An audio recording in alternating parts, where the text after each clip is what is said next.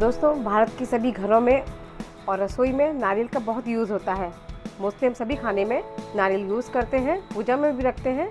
लेकिन सबसे बड़ी समस्या आती है कि इसका, इसको शैल में से हम कैसे निकालें?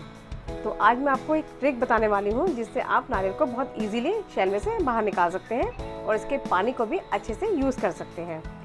तो यहाँ मैंने एक पानी वाला नारियल लिया है। अच्छा पानी है अच्छा है। अब तो सबसे पहले हमें इसकी सारी जड़ें निकाल लेनी है। और इसको बिल्कुल साफ़ कर लेंगे। किसी भी शार्प चीज़ से नाइफ से, आप इसकी सारी जड़ों को निकाल लीजिए इस तरह से और इसको साफ़ कर लीजिए।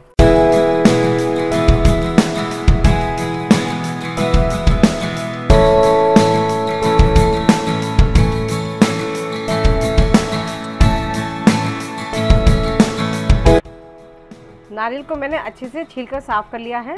अब इसे दो घंटे के लिए फ्रीज़र में रख देंगे। और इस नारियल का ये जो रेशा बचा है, इसको आप बिल्कुल भी मत फेंकिएगा, यह बहुत काम की चीज़ है। आप इसे पौधे लगाने में भी यूज़ कर सकते हैं, या इसे सफ़ाई के लिए भी यूज़ कर सकते हैं। इससे हम कोको पीट बना सकते हैं पौधों के लिए, और कोको पीट का वीडियो मैं आपको आगे ज़रूर दूँगी। दो घंटे हो गए हैं, और मैंने नारियल को फ्रीज़र से निकाल लिया है। अब इसका सबसे पहले हम पानी निकालेंगे। ये नारियल में तीन आइस बनी होती हैं तो इनमें से एक ज़रूर सॉफ्ट होती है, जहाँ से हम पानी निकाल सकते हैं।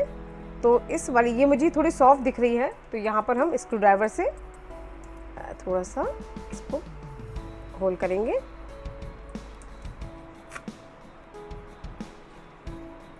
ये पानी सेहत के लिए भी बहुत अच्छा होता है और इसे फेस पैक में भी यूज़ कर सकते हैं।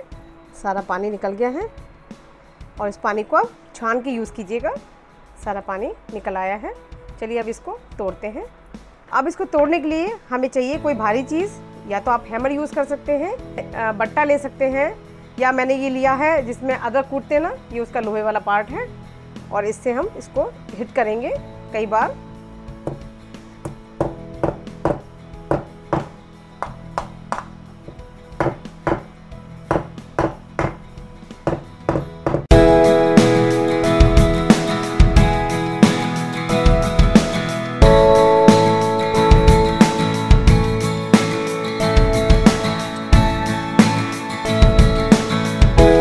नारियल थोड़ा सा क्रैक होना शुरू हो गया है और देखिए थोड़ा थोड़ा हटना शुरू हुआ है।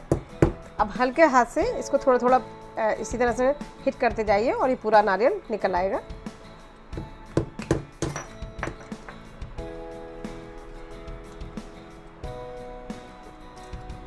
देखिए कितनी आसानी से हमारा नारियल शैल में से निकल रहा है। पूरा का पूरा साबुत। बस हल्का सा और रह गया है।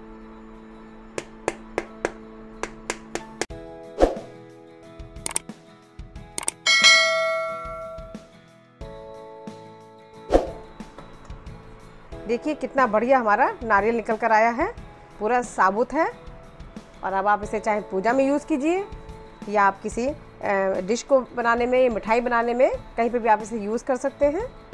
और ये ट्रिक बहुत ही आसानी से शैल में से नारियल को निकाल सकती है। अगर आपको मेरा ये वीडियो ज़रा भी यूज़फुल लगा हो तो प्लीज़ मेरे चैनल को लाइक, शेयर और सब्सक्राइब करना बिल्कुल मत भूलिएगा। अब मैं आपसे मिलूँगी अपनी नई ट्रिक्स और टिप्स के साथ। तब तक के लिए बाय बाय टेक केयर।